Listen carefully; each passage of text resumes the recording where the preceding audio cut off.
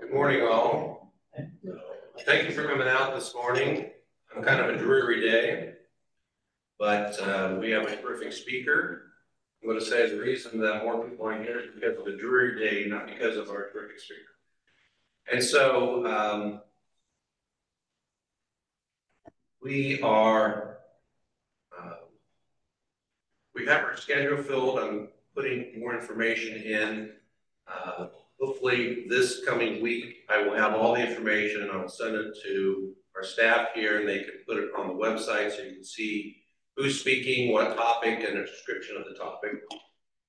Now, next week, um, the next two weeks, we're at Abraham. Next week is Franklin Lewis. He's going to talk on the Jewish comedians.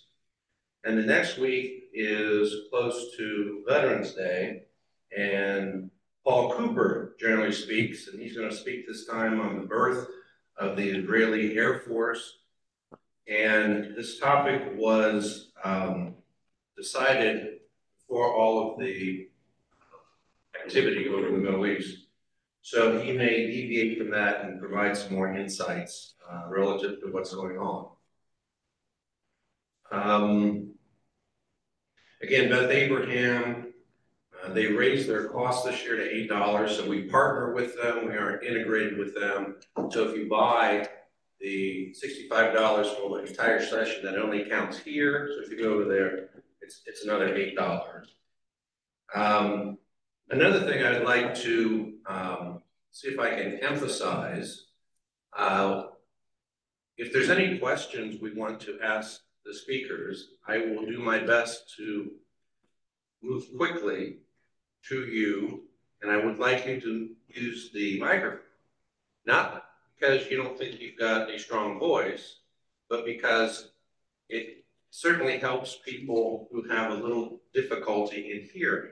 So let's let's be considerate of others and wait for me to get there with the microphone. And if there's a lull, I'm sure Donna can fill that space. So that won't be a problem, right, Donna? Okay. Well, even with your bad knee, there. So, so Donna Schlagheck has been here many, many times, and we enjoy when she comes. Um, she retired several years ago, and we haven't had her as often, but I think Carol um, enticed her to come this year, and maybe she can entice her in the future also. And so she's going to talk about what's happening in the Middle East, and just a little bio of Donna is she's the professor emerita of political science and past chair of the department at Wright State University. She currently serves as president of the WSU Retirees. Is that still true? Uh-huh. Past president, and is a frequent contributor to radio on 700 WLW. Is that still true? Yes, go. yesterday. And so her continuing areas of interest include U.S. foreign policy and terrorism. And so I'm sure this is going to be very interesting. So give Donna a nice round of applause. Thank you so much. I'm going to start standing, but um, if I need to perch here, you'll understand. I don't expect the bar will be open, but um, I, I apparently overdone it. There's something called an MCL in my knee. Um, thank you for the introduction, Carol. Thank you for the invitation. Uh, I have to say that as I began organizing my thoughts, I realized I, I should, I just should organize this in terms of before October 7 and then after October 7. Uh, so if you will bear with me, that that's how I think I'd like to approach uh, our topic today. Um, foreign policy, leadership, Middle East, terrorism, they have all come home. Every single one has come home to Bruce. And I, I thank you for the opportunity to come today, talk, talk about this subject, where it's going, what we can do, what we should do.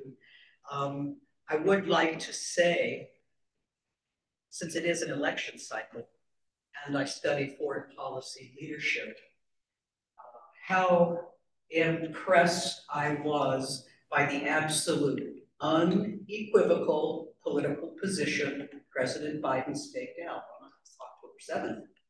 Clearly, clear line.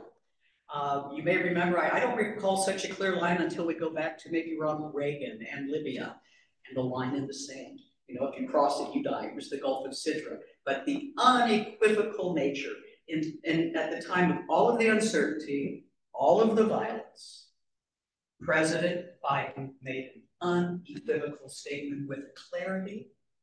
Uh, and, and we can talk about the consequences of it. Uh, but this is a president already in his first term. The end of the Afghan war, bringing the country through COVID, the economic recovery that's underway, despite everyone's best attempts to, to, to undermine it. I cannot explain why he's not getting more credit and support for what he has done. It is remarkable. And in the context of those actions, clear, decisive, action-based, for a guy who just turned 80, uh, he's accomplished more in this one term, hopefully his first term, uh, than most presidents are able to point to. Well, um, let me say, on the day before October 7th, I was thinking about how much I had enjoyed getting my two sisters to go down to the Mariemont Theater to see Golda. I don't have to ask for a show of hands. I'm expecting everyone here has seen it. If not, uh, all I can say is you've missed a very good one. Anything, Helen Mirren is in um, but the focus, if you've not seen it, uh, if you have, you know, it was on the, the aftermath of the Yom and the investigations that that, that took place. Um, I also think it's, it's, it's worth noting the, the great role played by Liev Schreiber, who was playing Henry Kissinger. Um, but why I mentioned Golda to you is um, in, in, the, in the process of assisting Israel after the outbreak of the Yom Kippur War, it was Henry Kissinger, who's written extensively about this, who advised the IDF, the Israeli government, that after Egyptian and Syrian forces had been pushed back in 1973, uh, and the, the IDF was prepared, had, had encircled it, was preparing to destroy the Third Army and all of the tanks of, of the Egyptians in the Sinai. It was Kissinger who made that argument that, that, that only a friend could make, which is at this point, this is when you stay your hand. By not destroying all of those tanks and, and, and the Third Army of uh, Egypt's uh, military, that's when you lay the groundwork for some reconciliation may follow. It would take six years before the Camp David Accords of 1979. But it was the president of Egypt, Anwar Sadat, who would sign the Camp David Accords with Menachem Begin. Uh, that's a long time in politics, I know, but Kissinger was right. And he's been, and Henry's still with us, 100 years old, he's been on my mind as I thought about President Biden, consulting with, advising the Israeli government about how to proceed. In the film, when, when you watch Golda, you'll see a point at which Golda Meir asks her military advisors, it seems like they, the Egyptians, they don't know that they won. They don't know when to stop. It, it, it was just such a, a, small but a powerful point in the film. Um, so it's before October 7, I'm thinking of Golda and that, that you know the role that Kissinger played. Israel, our friend with so many parallels to what we're experiencing in our own political domain the contentious nature of politics. We all identify with it, yes? Uh, the debate of the, the proper role and the distribution of power, the role of religion in our society and religious authorities. The fact that we both have, we had, and perhaps he'll return, but charismatic leaders now facing criminal prosecution for behavior that uh, uh, under most, most laws would be considered corrupt. Uh, the rising threat from Iran perceived both in Israel and here. Uh, and yet something I, I, I, wasn't sure how to put on my list, even, even on October 6th. I've been watching the rising incidence of anti-Semitism in our country. Uh, I'm sure like many of you, I, I see the ADL newsletters, the Southern Poverty Law Center's data, the FBI's reports as well. All of this preceded October 7th. Very disturbing trend when there is white Christian nationalism part of what uh, some people call MAGA. White Christian nationalism. Uh, should we be surprised that it is accompanied by a rise in anti-Semitic behavior? Uh, I, I, I, would suggest no. So I'm, I, it's October 6th, I'm thinking about the, the interesting parallels. And, and then of course we were uh, out of town trying to enjoy some fall leaf colors up in, in Wisconsin when, when the news of October 7th hit. Um, I've, I've been on WLW kind of unpredictably, but Wednesdays, Fridays, Saturdays, uh, I usually tell my friends it's called Dr. Donna's Fan Club. They're all, I think there's six or seven members of it who like to be notified when I will be on. Yesterday when I was on at 4.30, I tuned in ahead of time. They were preceded by a conversation about houses in Cincinnati. So it's, it's not like it's an entire foreign policy world affairs afternoon, but they're trying. And my mission on WLW, which has its host of very hard right hosts and call-in shows, uh, I like to be the old professor who isn't too terribly boring uh, and would like to get out some accurate information and at least ask people to think about some important questions. And that really is fundamentally what Biden administration has done with Israel in terms of where we know what the heck did we not know? How did this happen? Many of you in this room, I think Lee always read Foreign Affairs, one of the, the leading foreign policy magazines in the country, comes out quarterly. Two days before October 7, Jake Sullivan, the National Security Advisor, had published a long article about the Middle East and how you know things were really quieting down. They let him modify the article, uh, but it still reads like someone uh, in the American establishment intelligence community who was in close touch with IDF and Mossad, et cetera. We did not see it come. Um, Carol probably knows this, you may not, but my real interest in foreign policy is decision making, especially in terms of crisis. So you, you've uh, Carol signed me up for this talk. I was in just in, in incredibly enticed afterwards to see all of these coming together. Leadership, crisis, decision making, terrorism. Uh, you know, the, the, the, the, the tension goes up and typically the quality of decision making goes down. What I found myself saying in the three weeks since that attack, uh, that pretty much the same thing. President Biden's first advice was slow down. Slow this freight train down. Let us get more information. We need a lot more information. We can figure out how this happened afterwards, but to slow down the decision making. I see a few gray hairs here in, in, in, in the lecture. And I know when I mention the Cuban Missile Crisis, you will all understand what I'm talking about. John Kennedy so surprised by the presence of not only those artillery sites to defend, but the medium-range ballistic missiles that the Soviets were installing in Cuba, near Havana, in, in 1963. Uh, so, um, sorry, 62, the Cuban Missile Crisis. What was the first reaction of his intel community? Well, his first reaction was bring my advisors together. We all called that the executive committee or the EXCOM. Uh, get more information, but his best and closest advisors including Robert Kennedy, was to slow things down.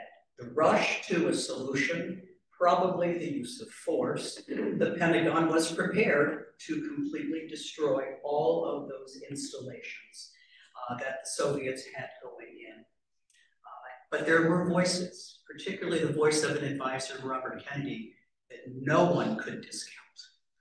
Um, he was, you know, he's Attorney General at the time but he was put on the executive committee because he truly was his brother's representative. And when he could speak, uh, they could not ignore the rush to military action in Cuba. Perhaps was the most comparable thing, other than 9 11, that we have seen in our country. Uh, so Biden, slow it down, get more information, and think about the day after. What comes after? Uh, that's about the last thing when you are in a crisis. That's about the last type of rational, linear decision making human beings can make. Uh, and when they are in a collective, like a small executive committee, we see even more tendency toward groupthink. We've all heard of groupthink. Uh, this is when the term actually got coined. Graham Allison, who wrote the great book about human others talk about the way to avoid it. The Kennedy team probably accidentally avoided it, but it is now taught uh, in, in training segments at the Pentagon and elsewhere. That's the first thing you do, don't rush. You know, you don't immediately rush to the, the first biggest solution that sounds right and everybody can agree. One thing we know about groupthink, it's interesting, is because if, it, if it's happening in a collective, nobody is individually responsible for the and they tend to go to more extreme options and solutions of problems when threatened. So I think you're, you're, probably seeing my parallel in terms of thinking about how in Jerusalem and Tel Aviv today, you know, people are thinking about how this, this plays out. Um, then came October 7th. I was on the road and far enough, I was practically up at Lake Superior let me just say that I know what it's like not to have any cell phone service and, and, and no internet. It is, it, it is still, um, if it's not quite paradise, it is a very unspoiled part of the country. Um, and what I'd like to talk to you about today is what the impact will be in Israel, in the aftermath, on the Saudi imports, uh, regional, obviously uh, with regard to Iran, uh, but also let's start here I imagine you are all aware of the many demonstrations that have been taking place, not just in Beirut and Cairo, uh, in you know, Pakistan and India, but in our own country on campuses. I heard Bronx and Brooklyn over at the, the breakfast table earlier. Uh, big demonstration in, in, Brooklyn yesterday. I always check Fox News first to see which ones they're, they're, they're covering. It'll almost always give me the most extreme example that I'm looking for. Um, college students. Uh, this morning, the conversation was about Tulane University uh, and the, the rising anti-Semitism there on a campus that's more than 40% Jewish students. So you can, you can imagine the discomfort that, that, that this, is causing as well. I'd also like to talk about, we have, if we have time, about what's happening at the United Nations. Uh, the day after the, I'm sorry, the day of the General Secretary, Secretary General Guterres speech about the war, uh, Israel's ambassador demanded his resignation. So it's, it's going to be, then, then the next day, the UN General Assembly passed its resolution calling for an immediate ceasefire. Okay, so we are we are on record seeing where all of these players uh, are playing out. So um, let us start then. United States, we're beginning to see the descent, at least on college campuses. Uh, the Writers Guild of America, of all people, uh, did not put out a statement when the war broke out. Um, organizations that I think most of us would always have thought likely to be a, a friend of Israel silent. It's been odd, hasn't it? The, the, the, silence. I understand that silence in regard to, for example, the idea of decision to release the graphic nature of the video footage that was shot during the attacks. I have to confess, I have been unable to watch more than sporadic moments of it. It's the brutality is is is it's beyond my comprehension.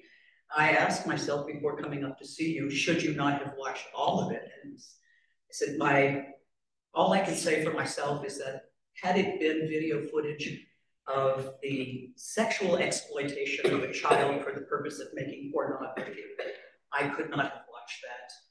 I, I could not watch the footage, but I understand why the Israeli government decided to release the footage. Sometimes in this, this social media news-driven world in which we live, you have to see it.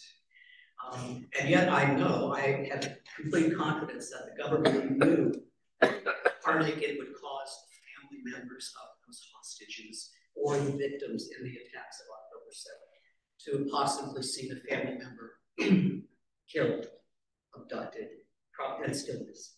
So the ongoing horror and, and the pain. Uh, but if, if, the video footage comes up, um, I perhaps you'll have more courage than I did. I simply did not want that in my head permanently as, as this thing unfolds. So here we are. We appear to be on the cusp of what General Petraeus, former head of CIA and head of CENTCOM, said a couple of days ago. We appear to be on the cusp of both terrorism and running urban guerrilla warfare in Gaza for who knows how long. Um, I, I probably won't have much to say about the proposed hostage swap that's underway. I, at some point, I expect that may happen. I do not think that's going to slow this phase of the ground campaign in which the IDF is, is uh, involved. I will say there was an interesting announcement from Washington. Uh, the Pentagon has sent General Glynn, forgive me, General Glynn uh, to Israel to consult with them and to care about this conflict. General Glynn was in charge in Iraq during the Iraq War when the campaign to eradicate ISIS was underway. So General Glynn knows what that campaign, uh, how it was run, how it had to be run, what the costs and the implications were. Uh, I will remind you that we destroyed Al Qaeda when we first went into Iraq after 9 11. Carol, I remember sitting at, at, at Wright State at a basketball game night, the, the, the day the war in Iraq started, thinking, I still can't connect the war in Iraq to 9 11. I know, I, I, was totally confident from my own research, we were not going to find any nuclear weapons there, but the war had started, Al Qaeda was destroyed, and of course, out of the detention camps that ran would come ISIS. Uh, and, and so the, the parallels that General Glynn will no doubt be touching on in terms of how to proceed differently to try to achieve a better outcome. Uh, it's hard. And again, I want to commend uh, Joe Biden for saying we made some mistakes. I know this is anathema, right? How could an American president think of the man he'll be running against? You would imagine him ever saying, I made a mistake once? I can't. Uh, but Joe Biden saying we made a mistake after 9 11. It, it, was the wrong call. Uh, Biden voted for it at the time, but has regretted it. And I do believe it very strongly informed his decision to uh, end our military involvement in Afghanistan. I've said to other people, it took two presidents to get us out of Afghanistan. Two and it will be, I think it's another one of those accomplishments lists um, that when it comes time to put the list of reasons uh, for re-election, we, we, we can get to it then. But saying to Israel, slow down, look at the mistakes that we made. If you are going to be confronting protracted guerrilla, uh, urban guerrilla con conflict in Gaza, we will send you the team who've learned the painful lessons here. The equipment needed, things to avoid. I don't know if we have anything other than technology that we can offer Israel in terms of locating and rescuing hostages. We have ground penetrating radars that are being used. Every time I open the newspaper, there's another wonderful story about some uh, Guatemalan civilization that's been found under a mile of, of, of jungle and forest. But satellites have identified, you know, an, an, an entire city uh, that people suspected might have been there, but no one could put their hands on.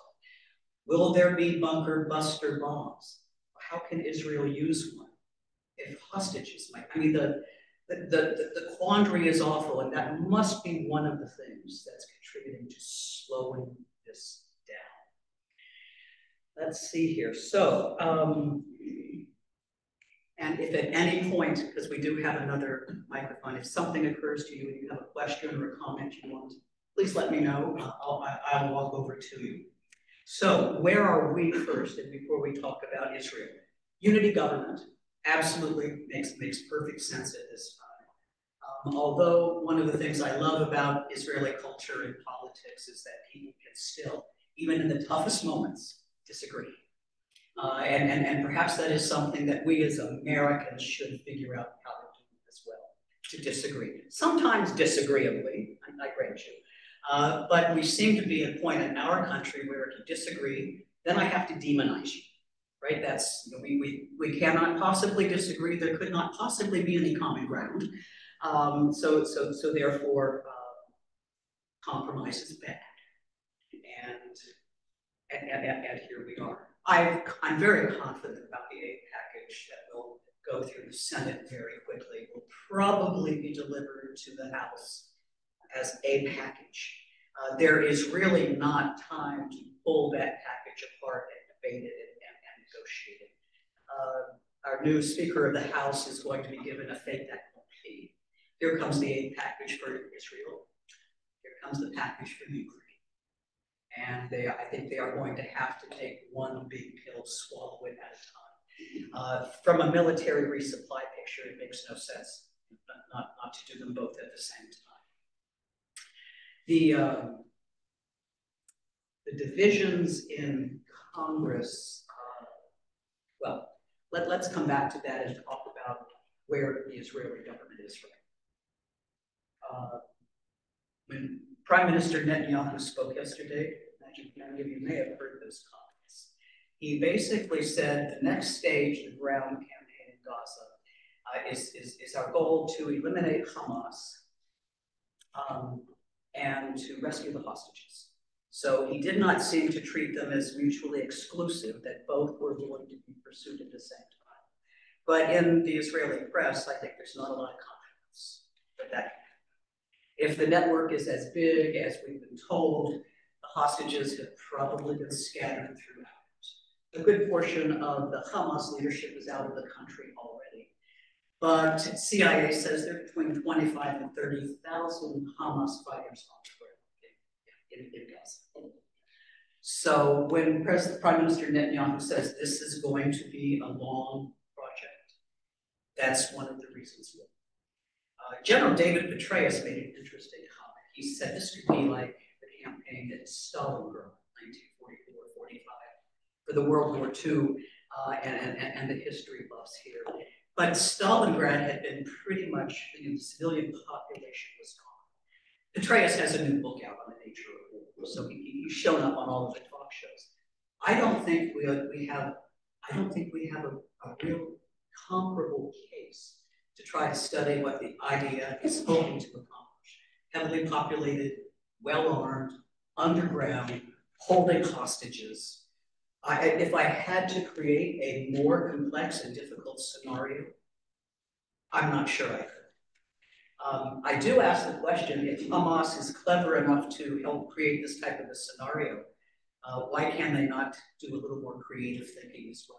We'll come back to that at, at the end of the comments. In 1988, Carol, shortly after I started at Wright State, the Dayton Council on World Affairs and the Dayton Business Community had a guest speaker from Saudi Arabia. Heard the name Bandar. Whenever there was something new and sexy to fly at Wright Patterson Air Force Base or any other base, he would show up and, and, and want to be able to fly that aircraft. And I was a young professor, but I got to ask a question.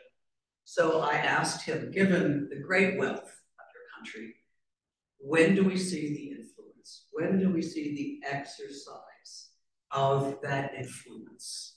Uh, when, when will there be leadership on the part of Saudi Arabia in the region? Um, I think about it now because Prince Salman, who has been, he's been negotiating uh, a pact with Israel, he has, uh, in the last 72 hours, made more references to the Palestinians than we had heard uh, initially.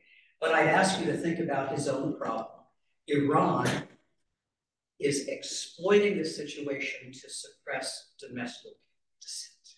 So are the Saudis. So is almost every authoritarian Arab leader in the region. The last thing they want to do is see a great big demonstration in favor of the Palestinians.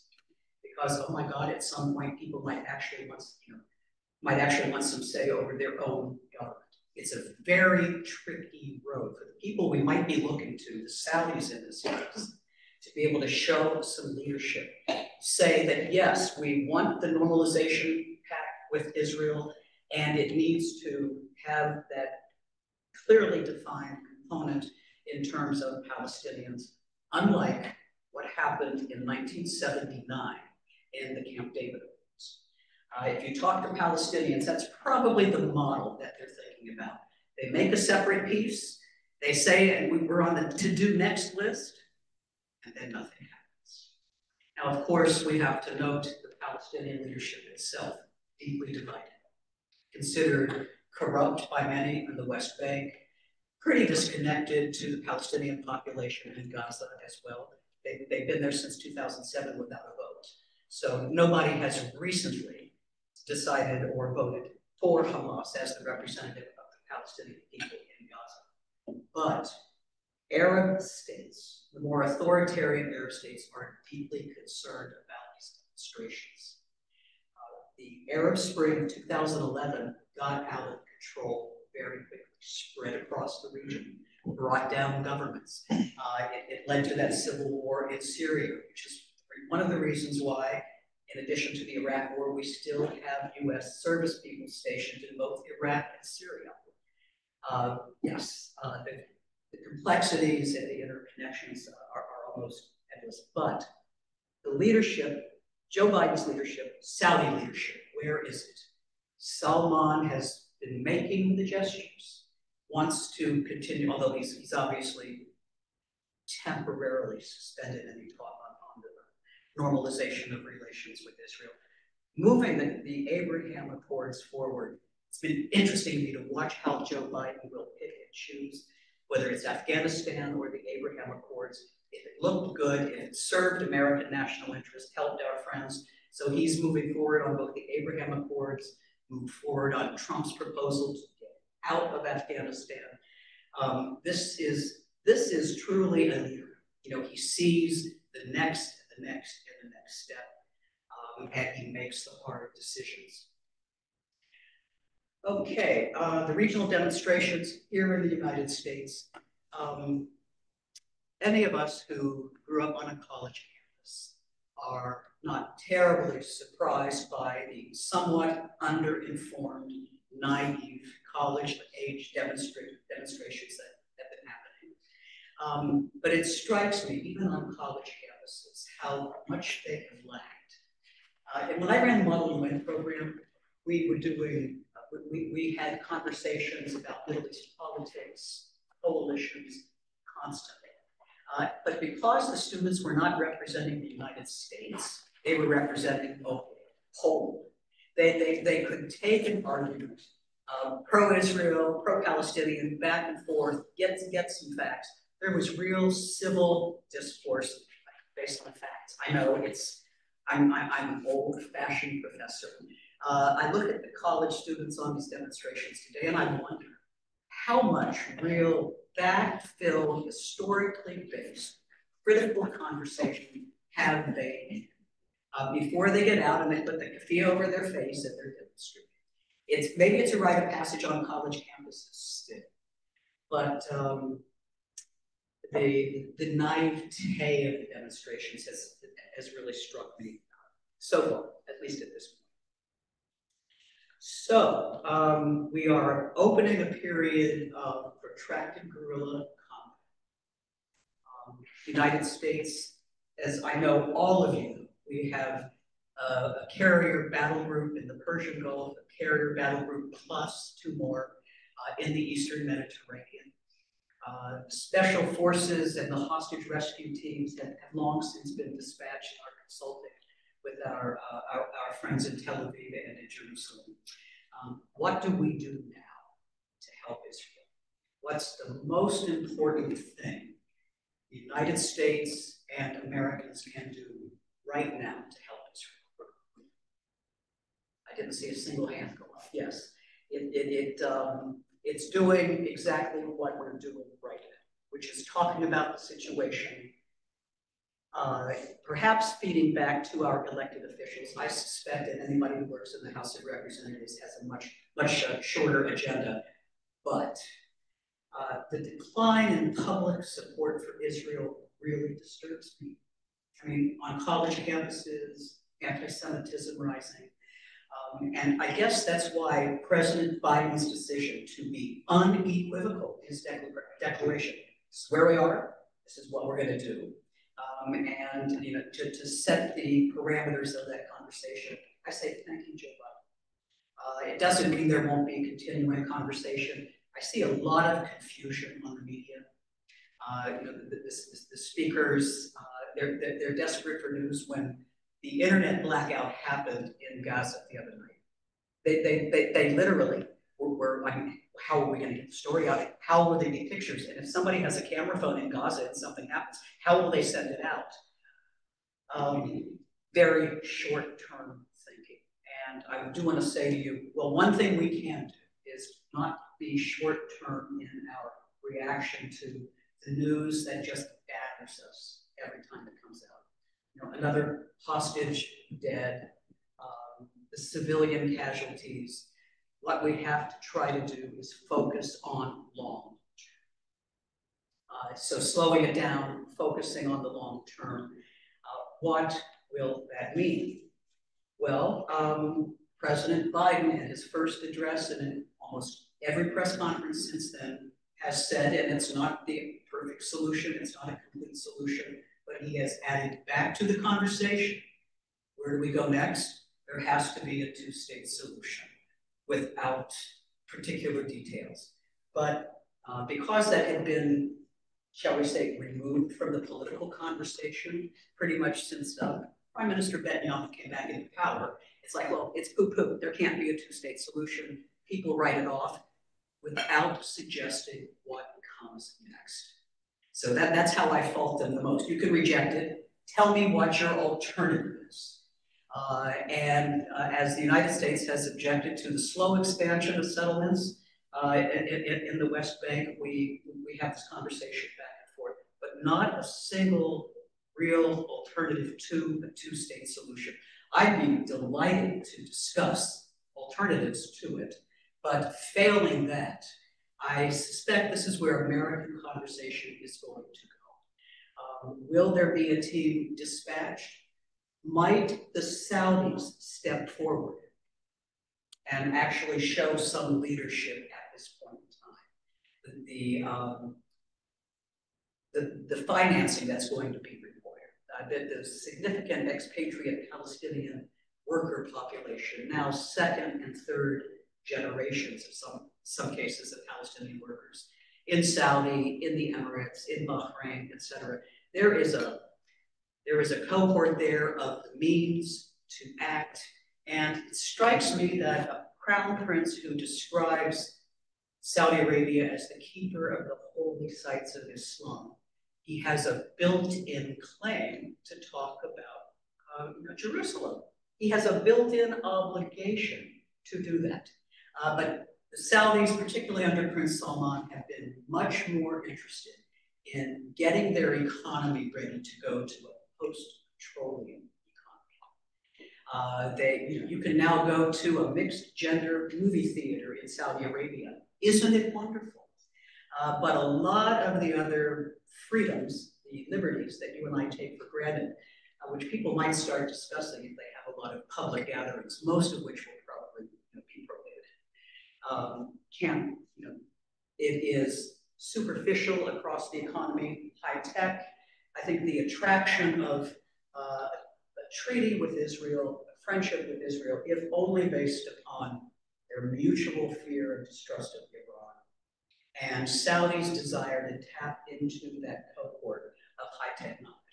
You know, whether it is desalinization, what, whatever it might be, this crown prince, he's, he's, he's a millennial. He sees that next phase of the economy happen. He knows that most of his young Saudi cohorts know what life is like outside the kingdom, uh, and they want change. They're getting change. They're getting it quickly in terms of gender. Women are now allowed to drive. Isn't it wonderful? Uh, I mean, you, you pick your one little thing that you want, to, but there are still a lot of women in prison in Saudi Arabia for protesting for women's rights. So there is there, there's hardly a system there that, that, that enables that, that, that sort of effort, a progressive effort to modify the government. Top-down led. But Salman, I would suggest to you, is now seeing that opportunity to, uh, based upon his religious obligations, to include that Palestinian component, not just the humanitarian language that we're hearing today, but something longer term, post-conflict, post the surge of humanitarian aid, what then? How do you, even if you have, and I'm not sure how they're going to measure the end of Hamas, how do you make sure the next generation doesn't appear? As Americans, we saw ISIS almost immediately on the heels of Al Qaeda once it was shut down in, in, in, Iraq. In fact, we now understand that we contributed to the rise of ISIS in its large numbers because of putting 10, 20, 30, 50,000 young men in detention camps. Not a good idea. I'm sure General Glynn, Glynn is, is saying that's the sort of mistake. They had no economy in which to participate, meaning they could never marry, have a family, you know, buy a car. Learn from our mistakes. This is what families do for each other, isn't it? This is what friends do for each other. We situations are not identical, but we made some real mistakes we want you to avoid. And the rise of ISIS was one of them. Uh, and I, I'm absolutely confident that however Hamas is put out of business needs to, in the plan, include how do we engage all of that talent, all of those young men. When I looked at the, you know, the, the, some of the young men on, on, on the footage, they're 20s, you know, they're young, they're strong.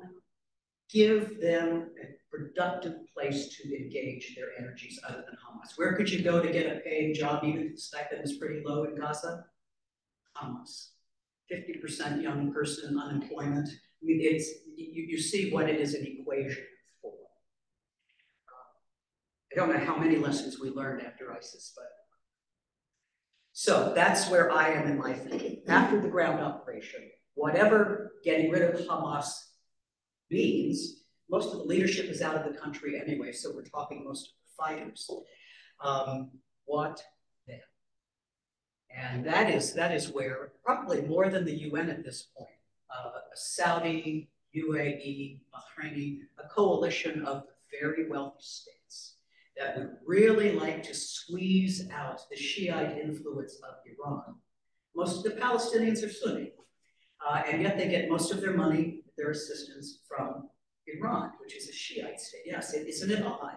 Uh, at least in Lebanon, we can understand why Shiite groups, Hezbollah, have a connection to Iran. But why the Sunni population? Well, because the resources are there. Um, what comes after? How do you not repeat? It's, it's, it's the most awful um, cycle of self-repeating, self-reinforcing violence. How do you find another direction for that talent? I'm not sure about the leadership yet, but when properly engaged, and I will give you one example where we have seen this actually happen in a country torn by hundreds of years of national struggle, terrorist groups, and urban guerrilla warfare, and that would be in Ireland, particularly in Northern Ireland, which uh, was British occupied.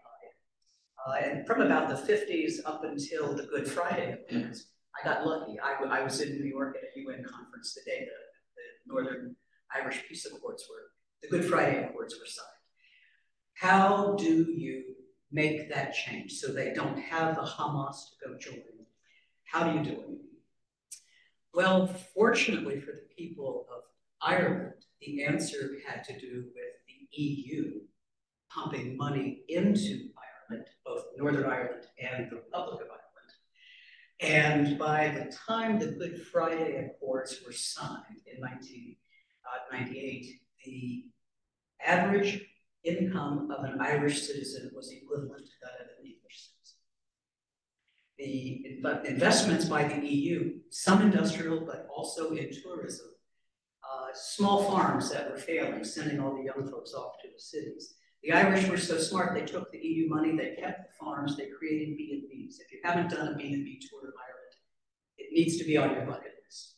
But by building up the economy, take, putting people into gainful employment, uh, both the Protestants and the Catholics involved in the armed struggle in Northern Ireland. And I'd like to point out as well, the voice of women, Catholic, mothers, Catholic mothers, Protestants, in the conversation in Northern Ireland especially. They were voices very early for peace. But it was when the economies began improving uh, and it became more and more costly, recruitment became harder and harder. Uh, and when we had an American president, Bill Clinton, and a British Prime Minister, Tony Blair, who would collaborate with the players in Northern Ireland, we got a piece of.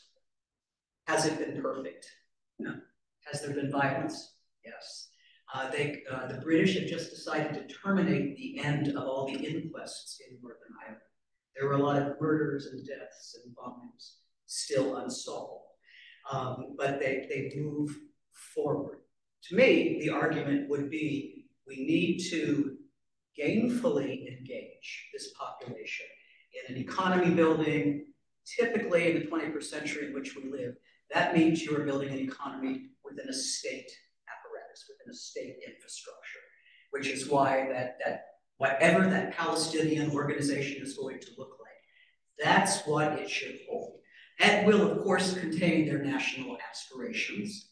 That's wonderful. But build your country rather than bombing someone else's. Uh, people need to see some clear alternatives before them. It's happened in our lifetime. Uh, now, I recognize that Israel uh, the, and, and, Palestine's conflict goes back a few more millennia, uh, but, but nonetheless, there we have examples in place where you can build peace. You, you may not get there right away, but you can build peace.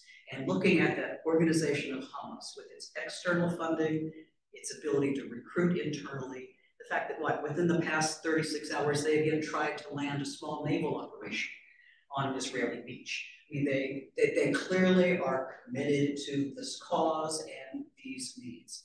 We need to put some alternatives in front of them. And I'd suggest to you, who better to make those investments than someplace, perhaps, you know, coming from Riyadh or Mecca.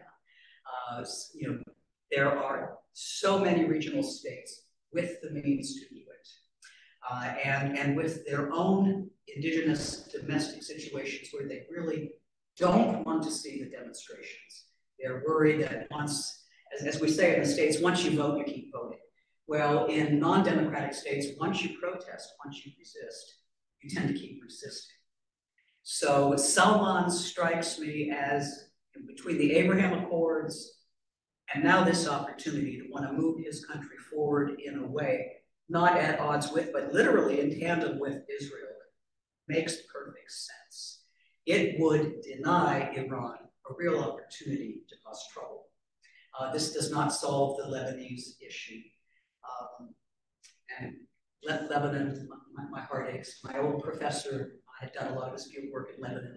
Every time we hear a lecture on Lebanon, at some point he'd have to stop and nearly uh, at, at, at, what happened to that country they used to call the Paris of, of the Mediterranean. Uh, let me share some of the questions I'm thinking about. And um, then we, we get to hear some of yours as well, I hope. Uh, Hamas is a political organization.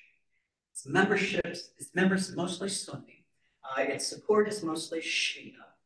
Um, but it is fundamentally a religious organization as well.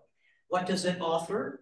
Jobs, martyrdom, armed struggle. Um, but what do you offer a young man somewhere between, say, 16 and 36? If you can't have a job, you can't own a home, can't marry, have a family, you, you see the problem. So this, this argument that we learned from Northern Ireland would be, yes, put a few more alternatives on that agenda.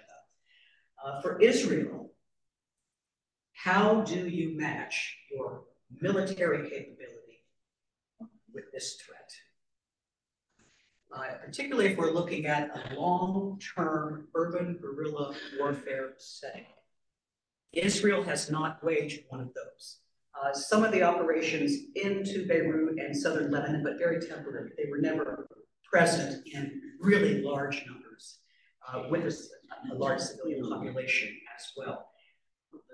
In political science, we often say that uh, whatever your most powerful foreign policy resource is, that's what you want to use first.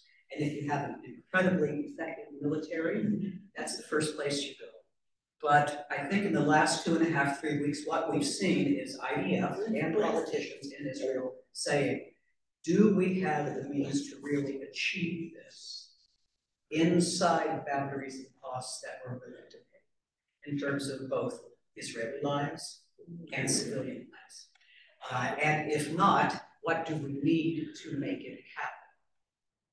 Uh, I really commend the Israeli population conversation, dialogue, differences of opinion, uh, and yet still a solidarity. And I guess that's what bothers me so much about American public opinion at this point.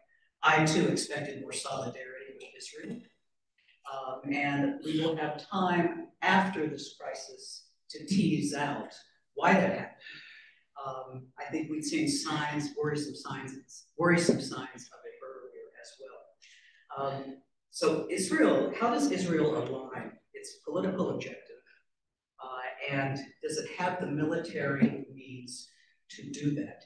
Does the population, is the population prepared to endure the costs of urban guerrilla warfare? Uh, in the United States, the, the, biggest casualties that we took were in Fallujah and Mosul, where it was urban guerrilla combat. Uh, and that is where the vast majority of the, you know, the, the, about 3,000 American soldiers were killed but there is a staggering number of them who sustained injuries. In World War II, the soldiers would never have left the battlefield alive, but they're with us now. And they, they represent a, a, staggeringly large number of people who are completely dependent, completely unable to operate. Uh, first, about the first six months after the Iraq War started, I remember asking a nurse who'd come through uh, for little political background training. I said, well, have you been on the battlefield? She said, yes. Well, what's, what's the most troubling difficult part? She said, oh, by far and away, it's the closed head injuries. That's what they were calling them at the time, concussions, the brain damage. Uh, that soldiers survive, they can be treated, but we know so little about the brain. I'm not sure why we left the brain to last. We apparently have left the brain to last to study. Uh, but even then, 2004, 2005, soldiers coming home in some cases with injuries. We didn't even know what the implications of brain injuries that that, that severe. Um, and our obligation to care for them. How much of Israel's IDF do you want exposed to that sort of trauma? And then, of course, in terms of PTSD, it is the violence on the battlefield. Whatever your mission is on that battlefield, it is the violence in which you're engaged that has that lingering traumatic effect on so many soldiers. Um, the, the, human costs continue. So, um, a couple of things before we open the floor to your questions. Uh, in 2017, the Trump administration was able to declare ISIS was, was ended. I have some bad news. ISIS is not ended.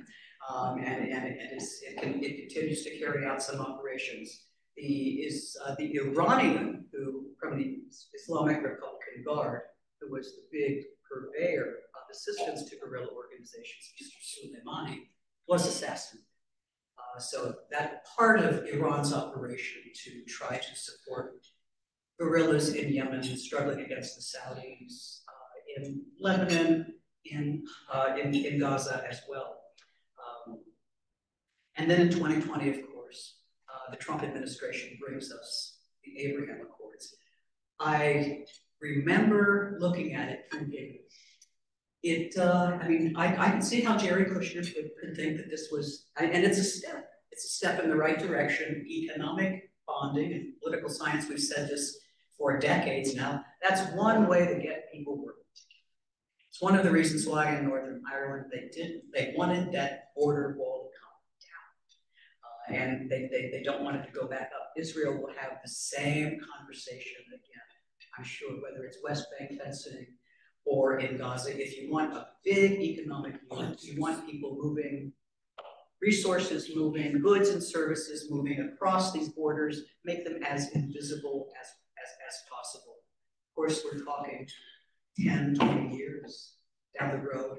But bottom line, my point to you today is if we don't fix our eye on where we'd like to be in five or 10 years, how do we ever expect to get our way through uh, the incursion that is now underway in Gaza? uh, that gives hope, at least gives some guidance, it gives an alternative both to leaders and to members of these organizations. If you want to get things to move in a different direction with different means. Great. Finally, I don't think you want the language of uh, issue one and two. I don't know how I got up here with my sample ballots, but I did, but that's okay. There we go. Um, What's going to happen in the meantime? Uh, the proxy attacks will certainly continue. I was, I have been shocked not to see the price of gasoline climbing. Have you, I mean, we've all been watching it. It has not climbed. And uh, I was troubled and you know a little more nervous when I saw that the Eisenhower had entered the Persian Gulf. Because if we're going to have to punish Iran for something, it will be in, in some of their major oil facilities near Basra or elsewhere on the coast. And you know what happens. People start bidding up the price of oil, Americans start having to have a full tank of gas all the time, and lo and behold, just like 1974 after the Yom Kippur War, we have another energy crisis, uh, oil and gasoline crisis. Uh, another last thing we need as this economy is trying to recover from uh, but when, when I'm on WLW, they want to know, well, how does it affect me? Joe here in, you know, in Walnut Hills in Cincinnati, how it affects you is through your economy, through gasoline prices, and if you are family member of somebody who happens to be deployed in the area, uh, it's going to affect you immediately and in, intensely. And the fact that it hasn't happened, even though we have emptied a good portion of our strategic petroleum reserves already. So it's not like the Biden team is pumping lots of oil out there to keep the price down. That is definitely not the case. But there is this hold constant, don't panic. And I'd suggest to you in very large part because of the steady leadership of the United States. Conversation at the UN has been ugly and divisive. On college campuses and elsewhere, we, we, we see that.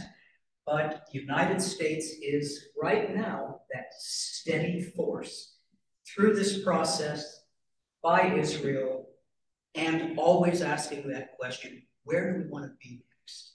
And please tell me about the movie, remember the day after, what's the end of the world movie, but where do you want Israel to be? Living in peace with its neighbors, having addressed some of these underlying grievances, building things together. Um, I would suggest that's where Friends of Israel would like to be. I think that is a goal that the American public can support. I understand it's much too early for President Biden or any other negotiators to be thinking about it. But with among the Friends of Israel, I say it to you, that's where I, I, I in my heart, I am. How do we get there as Americans who are leading something a little bit better? Americans did it for the people of Northern Ireland. We did it for the people of Bosnia. If you've been to Bosnia and Herzegovina, uh, if you've been down to Srebrenica or other towns, you know, there's still fresh, recent memory of, in this case, Orthodox on Muslim and Catholics. I mean, the, brutality of it. 8,000 bodies in, in, in, one grave of just young men, and, and young men and, and adult men. Memories are still alive, they are rebuilding an economy. It is not the shining star of, of the European Balkan area, I can guarantee you, because so many issues remain unresolved. right now Serbs are more interested in Kosovo than Bosnia and Herzegovina. But they have that three-way Muslim, Christian, uh, split among Catholics and, and Orthodox, all the complexities. And yet they all come from exactly the same people. Uh, at least the violence has been stopped. And the EU does for them what has tried to do in Ireland as well, provide the means. If we can't build in Bosnia and Herzegovina, we can at least provide work permits. And the fact that the uh, Netanyahu government was issuing tens of thousands of work permits to young Gaza men for the most part, before this all started, said, just as we have a labor shortage, uh, Israel knows how to focus a lot of that labor uh, in, in a productive way. So uh, President Biden, uh, I'm not on his campaign team, but when I study leadership, when I study it in crisis, it is as though Joe Biden has read textbook. Be clear, be firm, have all of your ducks in a row, your national security advisor, uh, Secretary of Defense, Austin, Secretary of, of State Blinken, all of them in Israel within what, uh, a day and a half. The consistency, the predictability at a time of crisis, and then offering that voice of, let us share with you what happens in that rush after the attack, whether it's the Cuban missiles being discovered or our 9-11 attack. You're not at your most rational when you're that full of adrenaline. I've learned this whether it's in a car wreck uh, or whether it's in a family crisis. So I suggest to you, not knowing how this ends, but I suggest to you this is going to be a chapter in US-Israeli foreign policy. It has the leadership, it has the resources. Does it have the vision though, to get us past this period of violence and engagement? But now is when we have to write the plan for that. Do we have a hand for a comment? I saw Microphone? I'm ready. Uh, you're, you're ready? Mic- Microphone's ready to try. Uh, so, um, we're on pause right now. It's almost as though you feel Guardians holding their. I have to lose. If Car- Carol has a list of questions. Oh, Um. I'm gonna put my foot up here. There we go. Um, I've been jotting notes as she's talking. I am so sorry. I still miss Lee. I still miss your Lee Lee. He always would hit me with the best, most incisive, intel-driven question. So in his memory, It's not quite that decisive. I do have, uh, my. The last one that came up in my mind here is when talking economy and improving economy, how work across it. From what my limited point of view, it was all the Israeli young men and women pulled into the armed forces. The economy of Israel has to be faltering significantly. So how are they, how is Israel supplying its needs to its people, keeping that up? At the same time, keeping the militarily, uh, military supply. So that is a complication. that- And the other part is, I thought of the Marshall Plan. How the United States, after World War II, it built up our enemies. Which is beyond comprehension, which is essentially what you're suggesting, is that somehow there needs to be uh, not only Israeli, but unanimity in the Arab world at some point saying it's our responsibility to help our fellow Muslims get back on their feet, if only taking, absorbing some. My problem with the young people now, I'm sorry, I go on and on, is maybe they don't have the memory of what happened in World War II. What happened at the when Israel was declared a state and the Arab countries emptied their countries of the Jews. And where did the Jews go? They went to Israel. When the Israel, when the Arabs left Israel, either on their own or being forced out, whatever it was, the Arab countries did not absorb those people the way Israel absorbed its people. Where is this history in the minds of the young people? Because they don't remember that. And my own children don't remember that, and they're not all that young. How do we get it all put together and in good conscience want to help those who have have and are out to eliminate us? Is that five? I was making notes. Uh, you're right, Carol, after World War II, someone name, I challenge you to name the historical parallel to rebuilding Germany and Japan. What, what, what victor does that? I mean, if, if you can think of an historical parallel and it did not permanently end conflict in Europe, thank you, Vladimir Putin. Um, but it is, they are now two of the linchpins in a European and uh, Asian, Asia Pacific alliance network, which both in terms of economics, Carol, and in terms of security. That's the missing piece here. There's not a big economic framework. Uh, that's what obviously the Abraham Accords was moving toward to integrate Israel more into the regional economy. But a regional econ in Europe, we got the EU and we got NATO. And what has happened in Europe? Recovery, vibrant growth. I mean, it is now, Americans think we have an immigration problem. It, it, it, I mean, they are drawn literally from the Middle East and from Africa to Europe every day because of the economic engine that's put in place because of two things, an economic an EU, and because of political and military security brought to them by NATO. And they've all been reminded of it with the attack on Ukraine right next door. Uh, President Biden's team has been extremely busy activating those alliance networks in the Asia Pacific region. It's why the Chinese are so deeply irked uh, and are flying the dangerous aircraft missions against you know, US, US aircraft patrolling in international waters. But interesting, um, while the Trump administration gave us Abraham Accords, it may fall to Biden to say, not only will we need a reconstruction to rebuild, just as Europe is rebuilding, but what about political security arrangement for the region.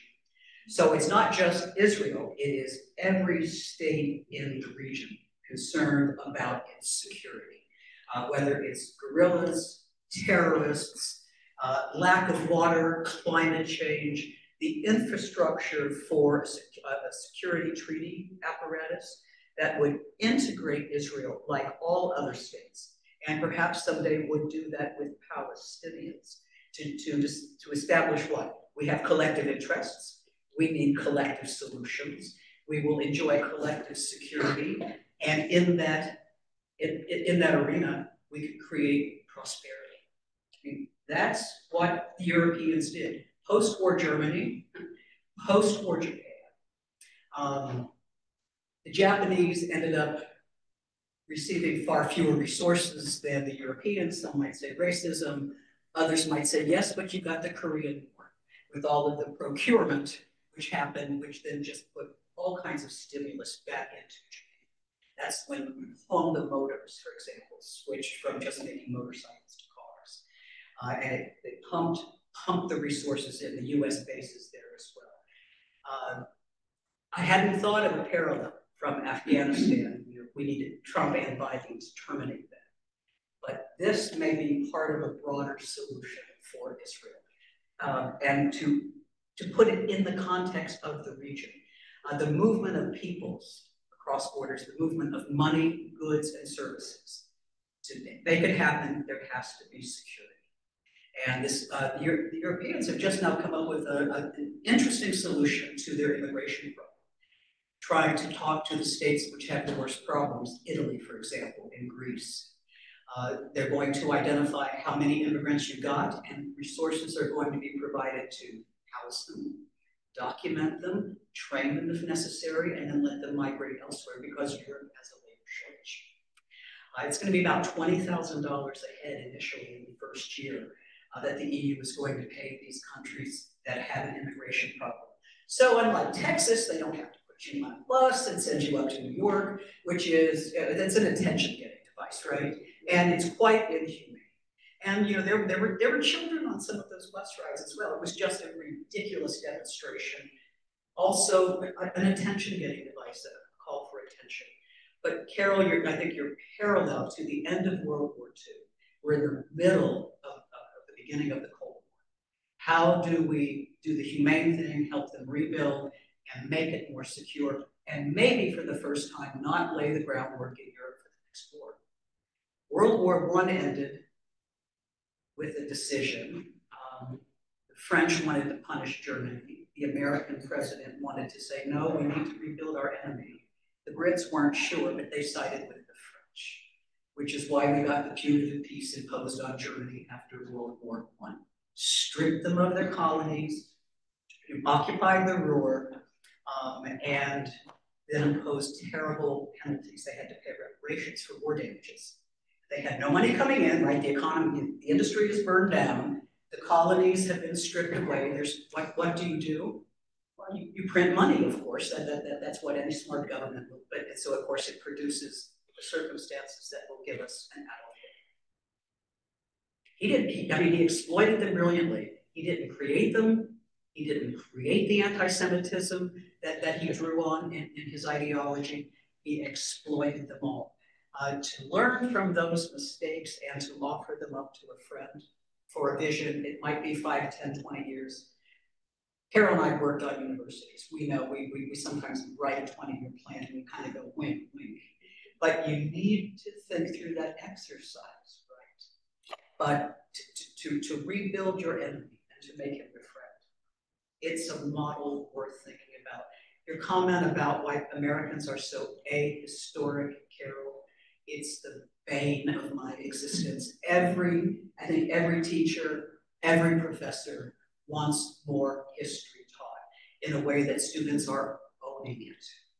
Uh, so if there is a particular story, you know, if it is uh, indigenous peoples, if it is, you know, uh, what, what's happening in Asia or Africa, let them get their arms around it. That was why, as a faculty member I love running our Model UN program because for six months, students would get out of their role. They weren't going to be Americans. They were going to be, and we did so many countries. Uh, in fact, some of my notepads, they make them every year from the Islamic Republic of, of Iran, just because they were identified. They would go to the mission. They would research the history, the policy, the problems, the attitudes. And when you get out of your own American perspective, uh, we are not served by not having a lot of, you know, if, if you've lived in Europe and traveled to the Middle East, people are in different countries speaking different languages and knowledgeable of history. Carol, I don't know why our culture de-emphasizes it so much, except I guess I could quote Henry Kissinger again. He has an answer. He was one of the subjects of my dissertation. He has an answer for, for most things, And Kissinger would say it's because, in the case of Europeans, Europeans believe in history. Americans believe in progress. Which I think is true, but how do you get progress if you don't know what mistakes you've made, what successes you've made, etc. But that was that that's a Kissingerism that I've used a lot. And I think even in terms of rebuilding Germany and Japan, the model is there. It sticks out in history as being so original uh, so distinctly American and look at look at the benefit that it's brought us. How, how do we get there? I don't know, but the next presidential election will probably have a big impact on that answer.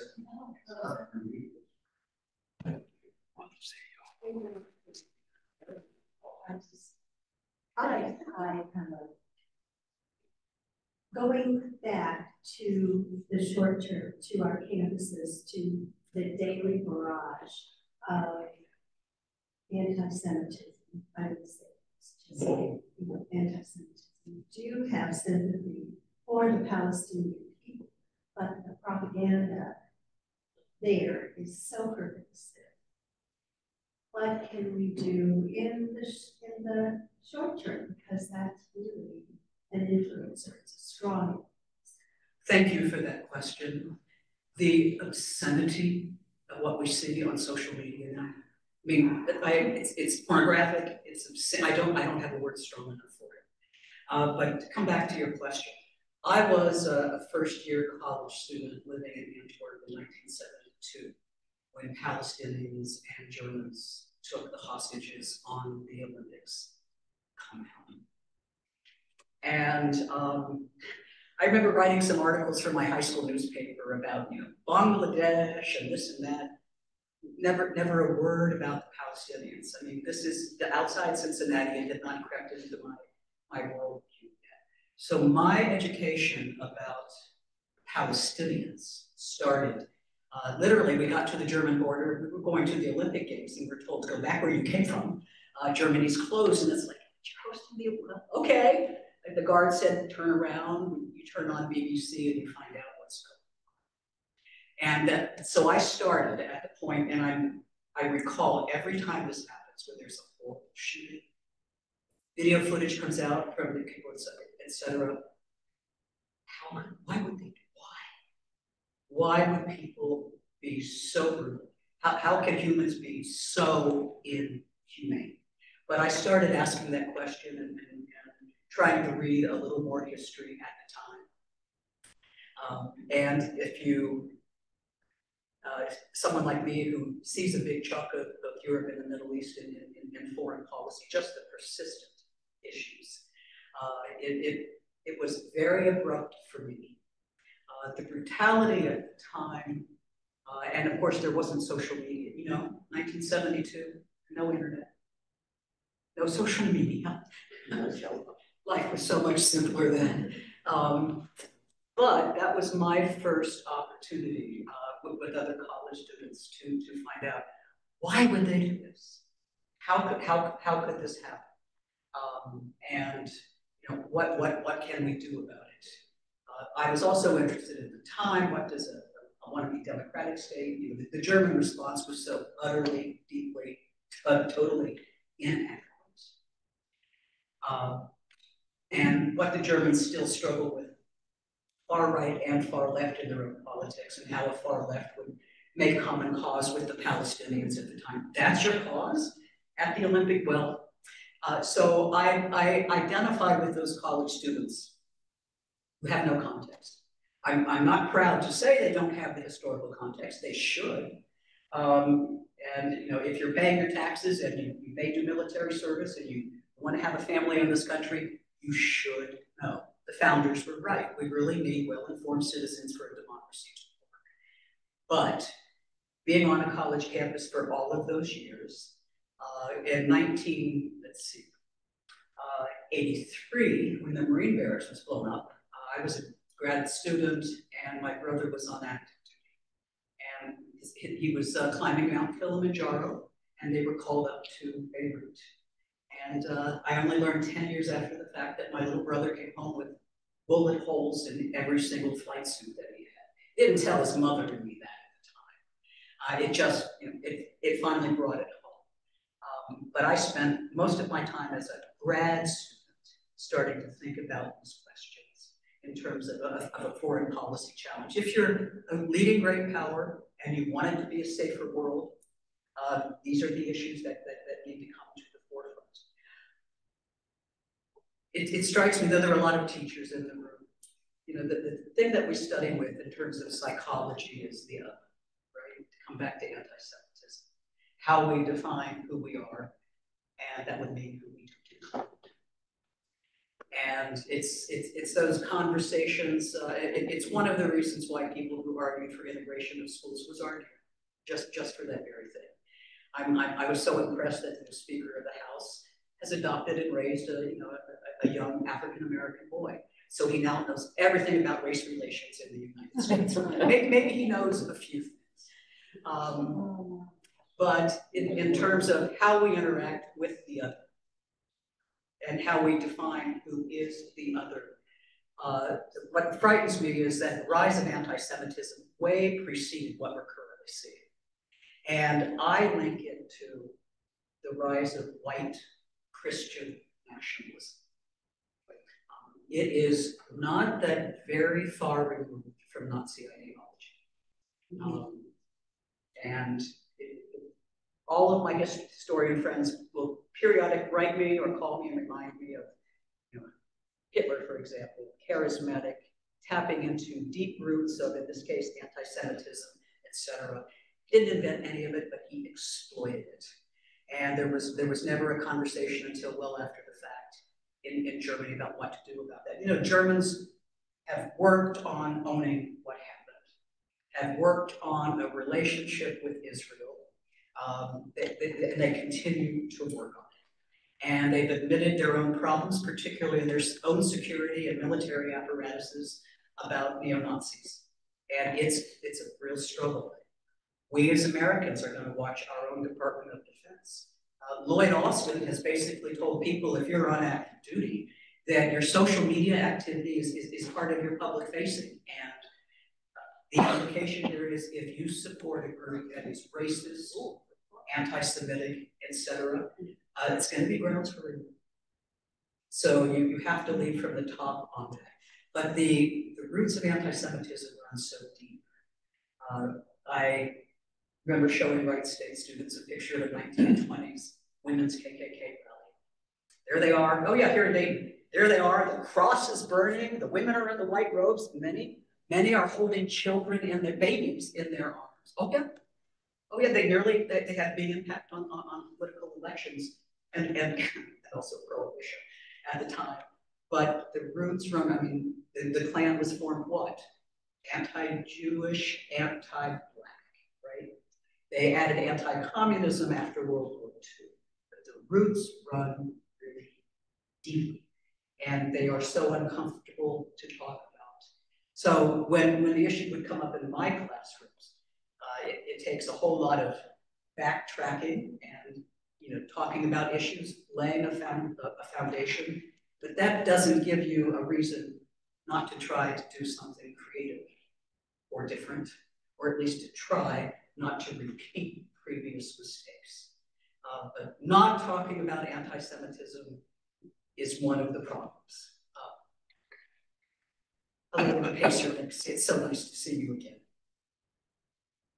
Well, I guess my question based on you your statements for a while is the United States and Israel I would have to say, without much more knowledge than reading the paper, has the best intel in the world. And how did both countries listen? How did both countries miss it? That's why I shared the story about um, Jake Sullivan's article in Foreign Affairs. Oops, because things are really quieting down in the region. Time to move forward with the next phase of the Abraham Accords. And then afterwards, and they, they gave them the right to rewrite it, but the damage was done. Um, I suspect the uh, after action report, you know, of course, there will be an investigation. It will have threads of we wanted to pay attention to different things.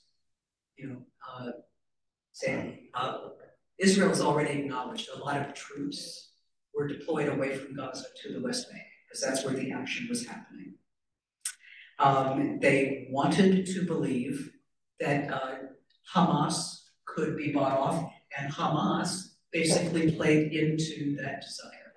Hamas was literally sending the signals back that, um, you know, we're, we're basically done with the armed struggle for a while. We saw this same thing happen in Northern Ireland. Uh, Hamas, how could Hamas keep it so quiet though? That's, you know, with, with all, all of the surveillance all of the electron, all of it. How did nobody hear about this? Well, I would suggest that they took the Irish case, which was you don't put anything in writing. There's no email, there's no phones. We will use human couriers to communicate. And everything will be tightly controlled in small cells. Only a few people will know what's going on. But it only works if the target of all that activity wants to believe that Hamas has quieted. And we might be moving into one of those phases where uh, it will be, you've heard the phrase living with cancer. That, that one just makes me shudder. Uh, and, and I have family members who are trying to live with cancer. But, you know, sort of the, response to that would be, well, aren't you looking for a treatment? Um, and, and, and often, of course, it does involve treatments, but having to live with something that's going to perhaps take your life over the long haul, why aren't you trying something? Um, here, here, here we are. Um, here we are doing what we need to be doing.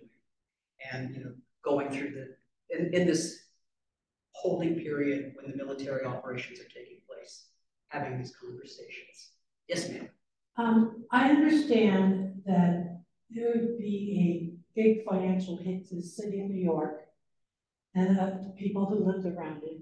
But what do you think if we got rid of the, not get rid of it, send it to another country, the UN? Let some other country host the UN. Well, the U, UN is hosted in many countries. I I mean, mean, big, the big meeting place. you want the, you want the General Assembly out of New York? Yeah, But, like, it, it, that could happen. Um, I, I'm not sure who would, you know, would, would you want it to be China? I don't know. I, I just think we've been spending too much money on, uh, I don't know, I just anti-UN right now. Um, and uh, I'm not, but the UN often does things that make me go, ah. Um, and yet, if you're not talking about it, uh, if you, if, you know, if you're either grinding out your issues or you know, organizing to do something uh, illegitimate about it, at least the UN is giving us a forum where we come together face to face. Uh, it's it's, it's quite a unique, thank you, Woodrow Wilson, it's quite a unique activity. Not to tell you what you want to hear, and I think that's what happened with Israel and, you know, not, not keeping their eye on the ball with Hamas and Gaza. They wanted to think that Hamas was under control, and that's, those were the signals that were constantly given. We host the UN, uh, we drove the creation of the UN, and I can, I can give you like fifteen million reasons why you don't want China to be hosting the UN, because uh, of the other outreach that it's doing with the developing world. Uh, and where values that we share, like due process, rule of law, human rights, liberties, etc., don't ever come into the picture. So they are, you know, utterly at odds with the charter. Uh, the, the UN is so interesting. They wrote the charter of the UN. And then they had, they, they did exactly what we did. We wrote, uh, we wrote our Declaration of Independence and the Constitution. It's like, oh, we need to write a Bill of Rights. And the UN had to write a Universal Declaration of Human Rights. It is our creature, and it is our way of shaping world. Uh, we host them all coming together face to face, and I can't tell you what conflicts have been ameliorated or even completely avoided, including wars, because of the work of the UN that it gives states at least some mechanisms for resolving conflicts, for compromising some differences. Some of those seem impossible, right? Uh, Arab Israeli, until they're not. That's what I said about Northern Ireland. you know, the conflict is indefinite, ongoing, until it's not, until people change some things. So by hosting it, um, and we pay about 20% of the UN's operating budget as its host. Uh, the Trump administration got it taken down from 24 to 22 and then 22 closer to 20. Uh, so we, we pay for a lot of it. If you're a New Yorker, you have terrible aggravation. You know, when, when the General Assembly is in town and 180 different sets of diplomats have no idea where to park and the police are not allowed to put a boot on the car, much less tow it because it has diplomatic immunity. Um, but we have this one place to serve the international community, maybe reduce conflict, and certainly to exercise influence over them. And I wouldn't want to give that to China. But thank you for that conversation. And Judy wants. Let's go there. Hamas has been ruling in Gaza now for well over twenty years. Elected uh, Why, uh, you know, they won the election. Why they, they won one election. One election. Why has there been no further elections, why has the Palestinian Authority not tried to regain control, political control of the Gaza Strip?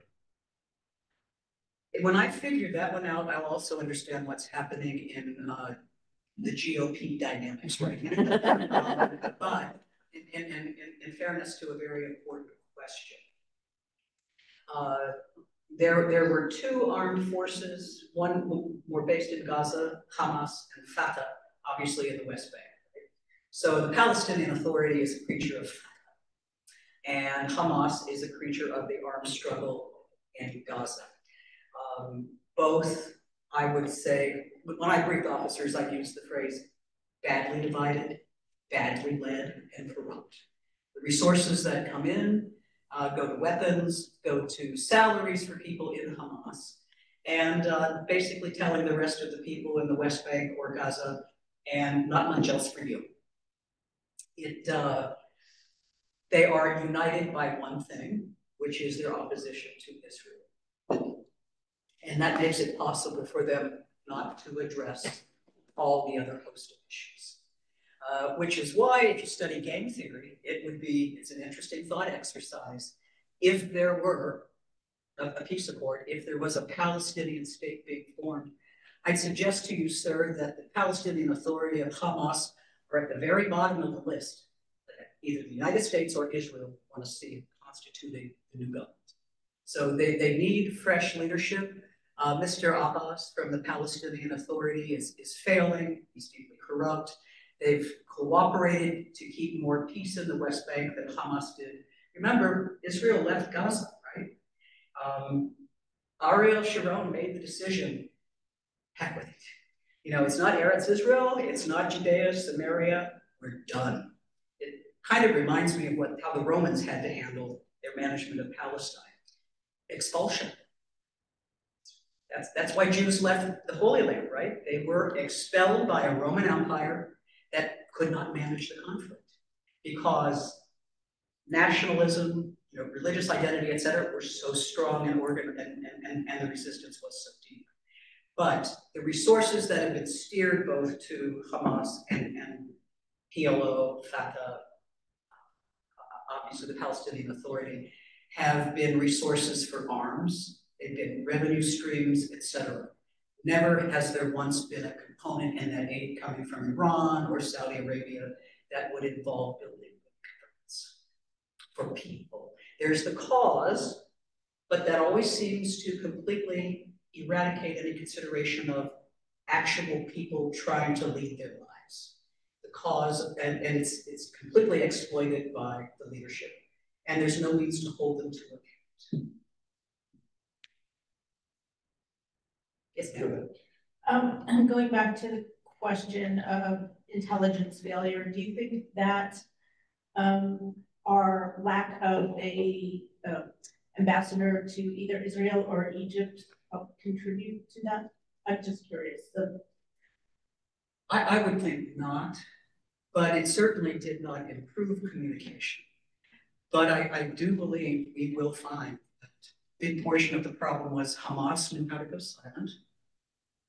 And Israel heard what it wanted to hear, or saw what it wanted to see. Uh, the, the, current government really wanted to focus on the West Bank. Uh, you know, its judicial reforms, expansion of settlements, etc.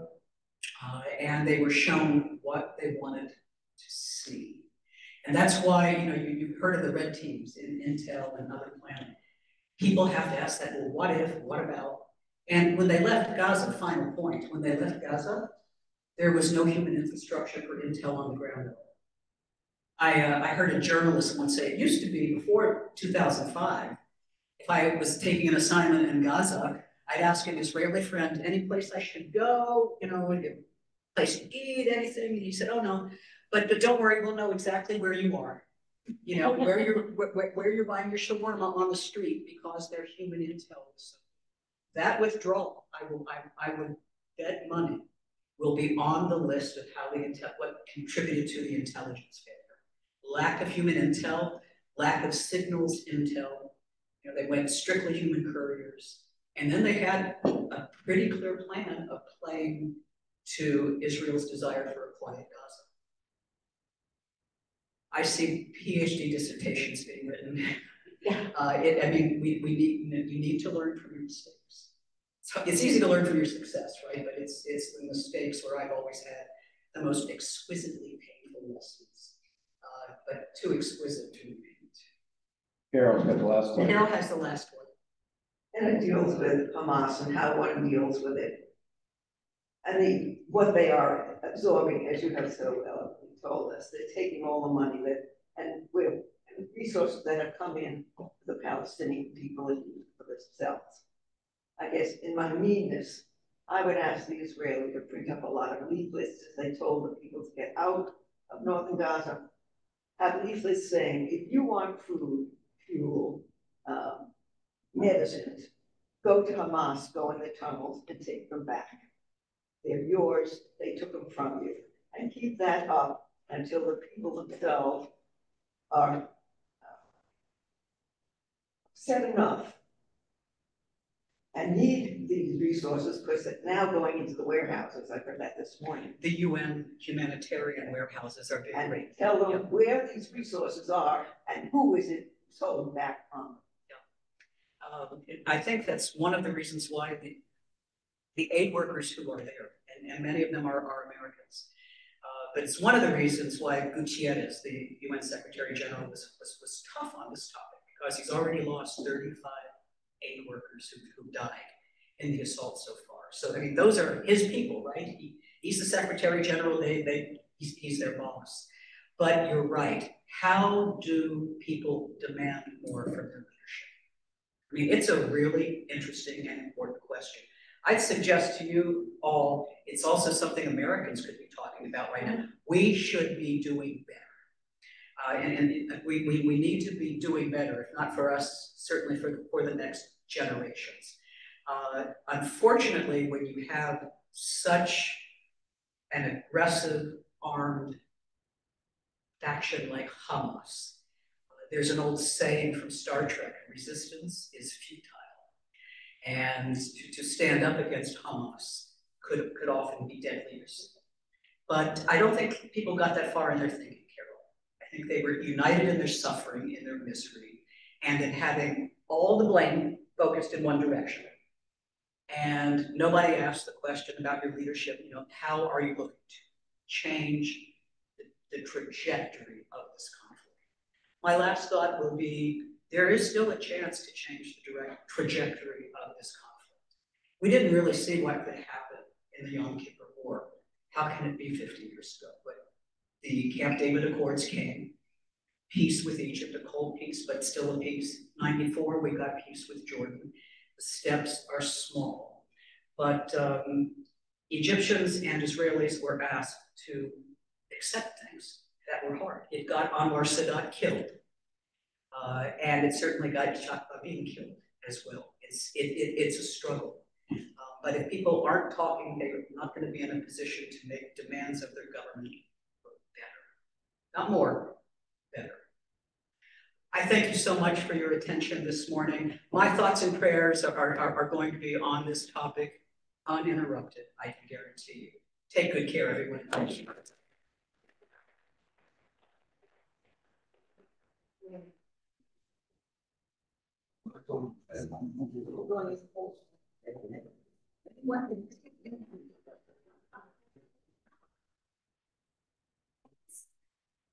Howard.